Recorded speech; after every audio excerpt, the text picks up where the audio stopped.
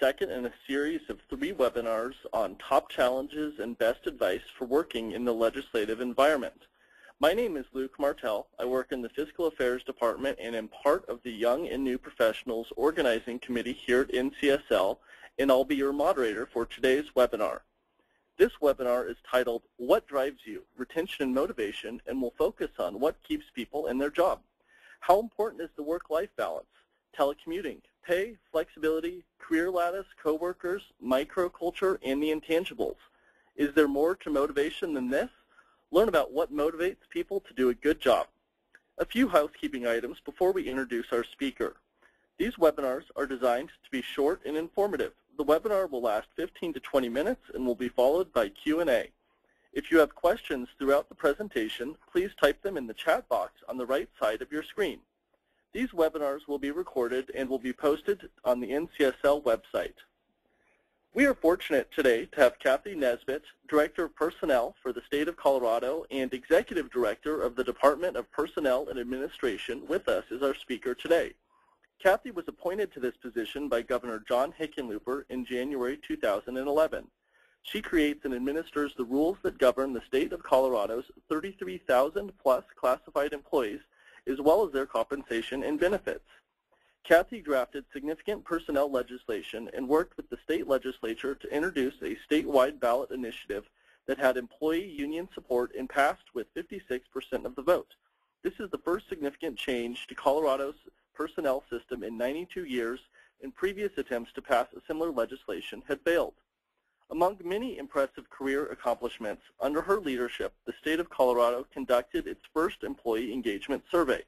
She created a statewide new employee orientation program, instituted major enhancements in the State Training and Development Center, and launched a wellness program for the state's employees. Kathy has spent the majority of her career as a labor and employment attorney and possesses her senior professional in human resources certification. Also, earlier this month, Governing Mag Magazine recognized Kathy as one of its Public Officials of the Year for 2013. Congratulations, Kathy, and without further delay, thank you. Well, good morning or good afternoon, depending on where you are. I am happy to be speaking with you today, and I wanted to spend a little bit of time discussing with you some of the challenges that we faced in Colorado.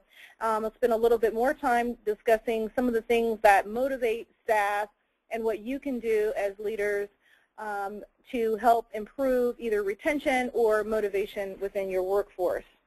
And then at the end, we'll wrap it up with a few questions. I'd like to start by just telling a little bit of a story. When I took uh, the position that I have about three years ago, I was pretty appalled and surprised about how the second largest employer in the state of Colorado managed its workforce. And as you've just heard, one of the significant elements of that was our infrastructure and when it comes to human resources. And uh, there's two sort of parts to that. One is the rules and processes that we put in place in terms of managing a workforce of that size, and then the other is the systems that we use in terms of managing it. So I want to I want to talk a little bit about that. Um, a little history about Colorado um, and our Human Resources Administration. We have a 92-year-old personnel system, and we are only one of four in the country that had its personnel rules embedded in the Constitution.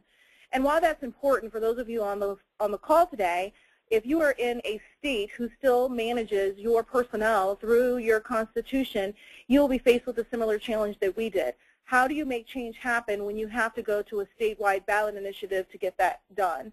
Um, just a couple of notes there. I certainly think that it's important to, get your executive leadership, the governor, et cetera, engaged with that, your legislature involved and supportive of making change happen in your state, I think is also important. And then if you also are in a collective bargaining state or you have partnerships agree agreements in place with your unions, it's also important that you get them on board.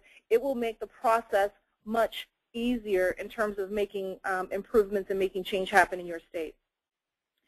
Um, when you talk about, we talk about the uh, talent agenda, we did try to modernize our systems. Um, we use a, a system that is fairly antiquated, um, and we are looking, hopefully within the next year, if our budget um, goes through, we will be looking at replacing that system. I think it's important to note um, for administrators out there, that's another way of actually making some improvements.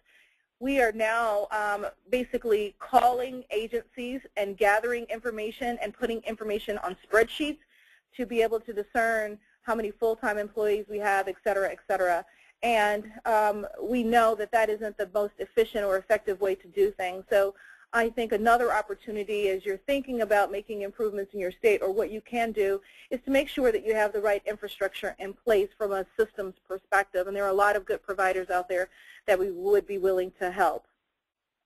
Um, I also think another important factor to note in Colorado three years ago, we were at a situation where um, they had not had pay increases for four consecutive years. So to talk about making changes to a system when individuals had not yet received a pay increase was also um, very difficult to do. So we embarked upon um, a strategy to work on compensation, and I'll come back and talk about that in a moment. Um, but compensation is also important as you think about making some of those changes. I think the more broad and probably uh, the most interesting piece of this is also focusing on leadership, and we'll talk a moment, I have a slide on that um, as we get to it, is to focus on leadership. One of the reasons that most workforces leave or an employee leaves a position isn't because of the compensation. Um, it is because of the leadership that they are having to work with or the staff that they're having to work with. Um, so I made sure that when I took over this position that we had a conversation at a very senior level about do we have the right people in the right seat on the bus to drive us to that success or to that metric um, or strategy that we're trying to implement at that particular time. I think um, one of the other things that to, to consider is the amount of time it takes for change to happen when you're talking about a workforce, particularly those of you who work in states or counties or cities that have um, that are very large, it takes more time to implement the larger your population becomes. Uh, we spoke to about 6,000 employees through the, the course of working on the talent agenda, and it was pretty astonishing that people had the same feeling that I'm speaking with you about. Focus on creating opportunities for the workforce. Let's compensate them, and then let's make sure we have the right leadership in place to guide them and set goals and objectives to make them all successful. So as we, as we talk about compensation, what can we do as leaders um, to make sure that we are compensating? In the state of Colorado, we are doing a couple of things. We instituted market pay. We were actually doing a lot of analysis, but one of the things that you should do is to make sure that you are compensating appropriate to your marketplace. Depending on where uh, you sit geographically, that may be you know, more or less in some areas, but I certainly encourage you to do that. So we, we did a lot in terms of truing up our market ranges um, for a lot of our positions. I noticed um, just one thing right offhand was that there is a lot of change that happens in the Department of Corrections um, for us. And so spending time not only looking at your populations that you have locally, but may, maybe also considering what other states are doing. Um, there's a lot of opportunities to engage with other states to figure out what they're doing around compensation, but I've seen a lot of change um, as it pertains to the Department of Correction. We also created a merit pay system to reward high-performing employees. So we are tying actual dollars and cents to performance. Um, while it's not a perfect system in the state of Colorado, we have a three-tiered performance evaluation system. Um, I think that we should be moving to look more at a five-tier system. Um, I know this might be a lot of in the weeds and very specific things, but certainly I wanted to mention that because one of the things when we were speaking to the 6,000 or so state employees was it felt like we did not pay attention when it came to performance evaluations and that you either had to walk on water to get that, that three, that top level performance evaluation, or everyone was in um, the middle range in terms of having a two, and very few individuals were being performance managed. So we had more than 90% of our population um, in the two. So we are going to be making changes. I think that's something else that you could do in terms of making sure that you're listening to your employees and that you are compensating them appropriately is to look at how you're doing evaluation.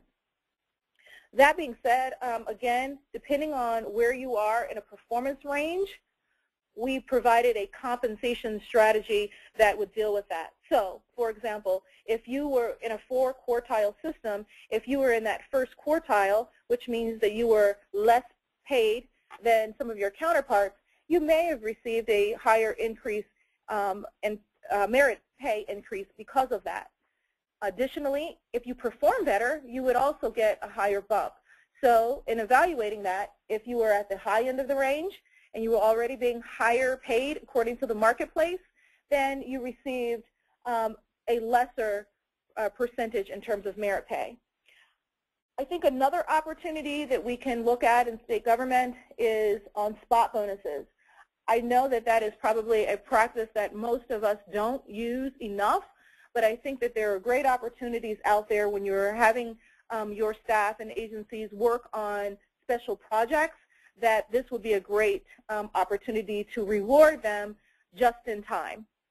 So I would also highly encourage you from a compensation perspective to think about um, providing that as an opportunity. And they don't have to be large amounts. Um, it can be anything from, you know, $100 um, to $1,000 depending on the size and the scope of that particular project. project. Um, you all might also want to think about when you're talking about reinvesting in the workforce is providing something around a wellness program. Um, I think that's also something that's very popular, and if you haven't engaged at all in that space, I think that's a great opportunity and creates a great investment uh, um, a return on your investment of dollars for states.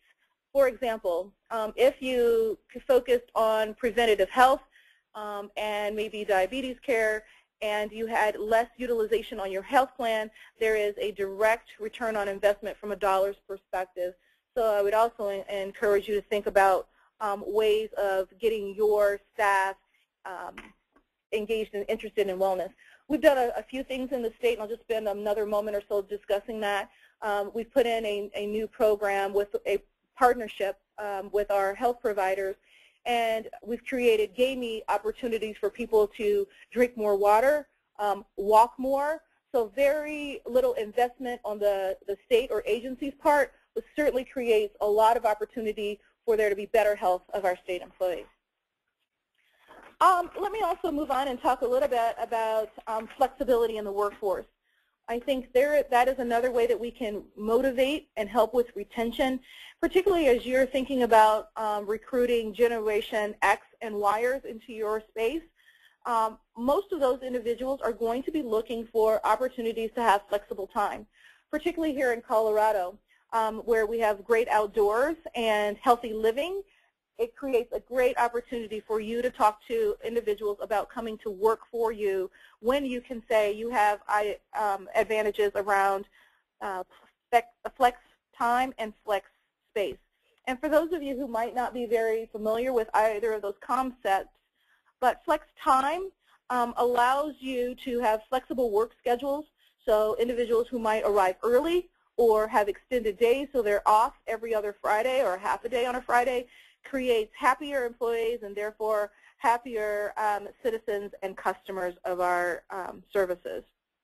It also helps and decreases in tardiness um, and unscheduled absences. So I would also think about that, and it's important when you're allowing this to make sure that you set up a uniform policy up front um, to address individual needs. I think Flex Place is also another opportunity um, this may work in some contexts. It may not necessarily work in all of them, and I know that we have to be sensitive of that, particularly as a government employer. But allowing individuals to work from home, um, it certainly will reduce the amount of space that you need um, when you're looking at um, dollars and cents in terms of, of um, lease space, et cetera. It also, um, if you're if you're doing it correctly, could provide a lot of opportunities for again, um, recruitment of those Generation X and Yers. Um, just a, a, little thing on flexibility that I'd also mention of some of the things that we did here in Colorado. Um, many of you may be familiar with that, that rule of three, which means that an employee under the civil service would not be allowed uh, to interview unless they were one of the top three candidates for a position. And we've expanded that under the governor's talent agenda um, when we ran that statewide legislation to move that to six candidates. Um, it does a couple of things, creates more opportunities for hiring managers, appointing authorities to look at great candidates and look more at fit as opposed to meeting the minimum qualifications for a position. Um, and it also creates twice as many opportunities, or for us, created twice as many opportunities for our workforce to be considered for promotional or lateral opportunities in our, our um, organization.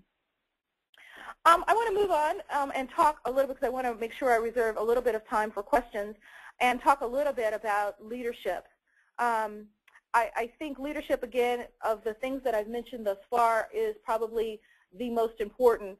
Individuals leave because of bad managers and supervisors, um, and so you want to make sure that you are training your managers and supervisors. One of the things that we're doing in Colorado is uh, working along partners with the legislature on the SMART Act and putting many of our managers and supervisors and senior leaders through um, training programs where they learn to develop meaningful goals and metrics for their organizations. When individuals know where they're going, they're more inclined to, to get there.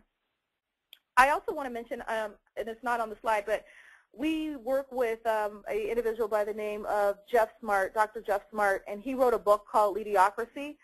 And one of the things that was important about that, and that, that why I'm mentioning it here, is there's a lot of opportunities for government to partner with the private sector. Um, and that book really talked a lot about opportunities where a private sector individual could come and work for maybe just two years in state government and help make their, um, their state or their local more productive and effective. Um, and even speaking about here in Colorado, there are more than, I think, a third of us that are in the governor's administration who actually came from the private sector and were willing to invest for uh, possibly eight years of their career through that endeavor. Um, I think just a couple of other quick notes um, as I, I, have a captive audience here to talk about um, being a good leader and particularly those of you who might be new to the workforce or new to government to think about um, one of the, the couple of factoids or, or things that I would or, or encourage you to think about. One is manage up. Make sure that you are never surprise your leaders.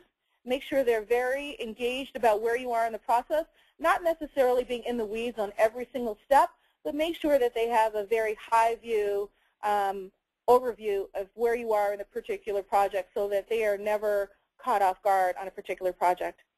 Um, own your own project. Make sure that you are the person who at the end of the day are going to be totally accountable, regardless of whether you're delegating responsibilities to others, but make sure as a new leader that you know where you are with your own project, that you've created opportunities for leaders underneath you to engage in that particular project, hold them accountable by setting um, measurable um, goals, et cetera. And then when the project is complete, I would also encourage you to follow up and evaluate that particular project. How is it working? Um, are there tweaks that need to be made? Um, and what could we have done differently so that when you're rolling out a project in the future, you can take some of those lessons learned. Um, in conclusion, again, I, I, appreciate the opportunity to be able to speak with you today, and I want to reserve some time in case there's any questions.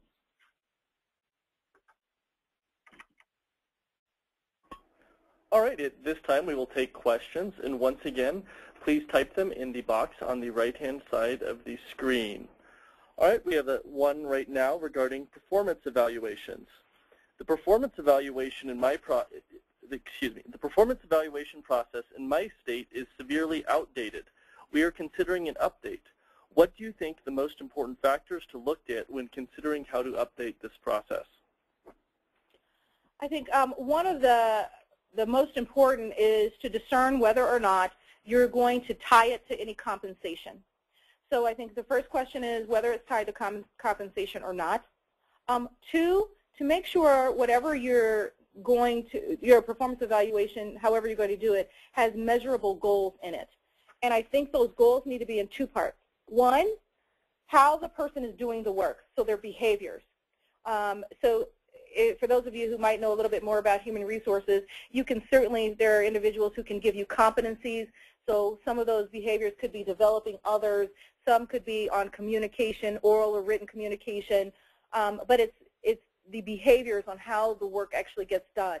And then there should be a separate section on um, the actual metrics of the work that that person is performing. So how are they doing their particular job? And then you should also have a section on comments.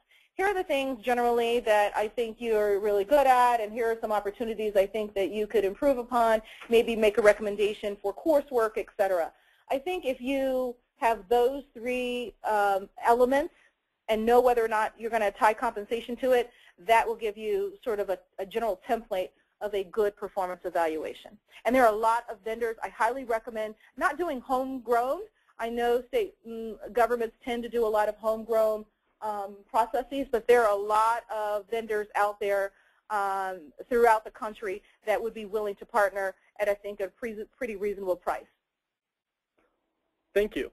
You mentioned Mediocrity, I believe is the name of the book. Are there any other books or resources that you would recommend for us as we learn more about these topics? Um, I think there are a couple, and I'll give you a couple that come to mind that are government related, and I don't, I apologize, I don't have the name of the author. Uh, the first 90 days in government um, is a is a good read. Um, I think that that's one. There's an, also another one. I can't remember the name, um, but it was um, a, a, person that I believe was in either Missouri or Kansas, and he did a lot of uh, process improvement, lean work. Um, and so I, I, don't quote me out there, but I think the person's name is last name is Miller. But I'll find out, and I'll make sure that I can get that information to you at a later time. But that was also a very good read. I think there's a lot of opportunity out there um, for um, states to actually use the lean process to actually make improvements in their workforce. Um, Non-government related books, um, I love Good to Great. Um, I think Good to Great is a um, really good read, and I actually I had my staff read that. So I think those are some really good ones. Thanks. Most leaders that I've worked for in state government think that turnover is low, when staff feel like turnover is high. Could you please discuss this? Um, so turnover. Uh, I think a good HR person wouldn't give you generalities because I think it depends on the type of work. Um, I think that there is naturally a higher turnover in population of the Department of Corrections than you would see than in some more administrative agencies. Um, I think uh, if you have retention that's in the single digits, then that's pretty much no retention at all from my perspective in government. Um, but again, I think without being general, it's hard to say what a good or poor number is, but your HR individual or your state personnel director should have metrics when it comes to turnover relative to your particular geographic area. A lot of it has to do with um, geographics. A lot of it has to do with the type of work that's being performed. Um, but generally speaking, if you are in the single digits, that's that's minimal turnover as a rule of thumb. Thank you. Another question, outside of compensation, what are the most important factors, in your opinion, in retaining a highly qualified workforce? Yeah, and compensation wouldn't even be on the, the list. Um, probably a little bit further on the list. I think um, one is whether or not the person is finding any value um, in the work that they perform. We are in the process of completing our second um, employee engagement survey, and that really comes out at the top. Um, whether or not people find any value in the work that they're doing, I think that's that's one. Whether or not they respect their leadership and trust the leadership that they have, that would also be an, uh, a metric or an indicator that you would want to really um, look at to try to influence if you want to reduce the amount of turnover or you want to focus on retention in general. Um, I think, let's see, what other ones? I'm just trying to go from my memory here on the ones that I remember specifically. Um, engagement in the work, making a difference in the amount of work, their people, and then I would say compensation would be last. Thank you. This one's a little bit specific. When evaluating human resource information systems, do you think that, or could you discuss the advantages of purchasing a product or creating an H human resource information system in-house?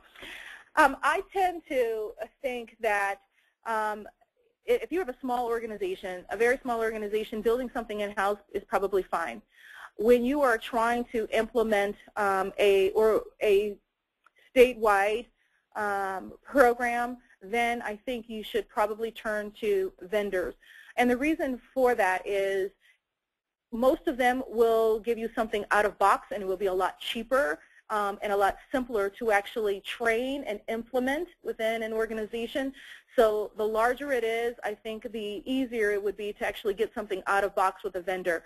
Um, if you are, again, smaller, then doing something in-house is probably easy. The thing to note is that when you try to build things in-house, you have individuals um, who retire and um, so you lose a lot of that um, knowledge in terms of um, programming, et cetera. And we face some of that in Colorado with having homegrown systems. It's a lot more difficult in terms of making updates uh, to the system. And before we do our last question, I just want to remind the audience that this is the second webinar in a series of three. So next Friday, we will dive into the specific topics of advancement, promotion, and lateral movement with speakers from the Kentucky General Assembly and the Montana House of Representatives. The login process and the time will all be the same, so we look forward to having you join us next Friday. And Kathy, for our final question, as a younger staffer, sometimes I find it difficult to develop new skills because the legislature is a fast-moving environment. Can you give examples of how I can manage up, as you said? Um, I think a, a couple of things. Um, in terms of gathering more knowledge, et cetera, would be, again, this is a great organization, so participating in webinars that you can utilize for a, at a very minimal cost, um, I think are great opportunities. There are a, a few of them out there, um, so I would encourage you to seek those individuals out um, or those organizations out because they would provide a lot of opportunities for learning you know, at a minimal cost, as I indicated. Um, I think um, developing a relationship, having a regular one-on-one -on -one with your direct leadership is also important, um, and speaking with that individual about creating visibility for you as a new leader. So working on some very significant projects that have visibility or, or other opportunities for you to at least um, be known and can display your talent more broadly um, is another opportunity. In conclusion, if you submitted a question that didn't get answered, please know that we will reach out to you individually. We have your email address. And thank you very much again, Kathy, for sharing your expertise on the topic. And thank you to the attendees for logging in to today's webinar. We will see everyone on next week's next Friday for the next webinar.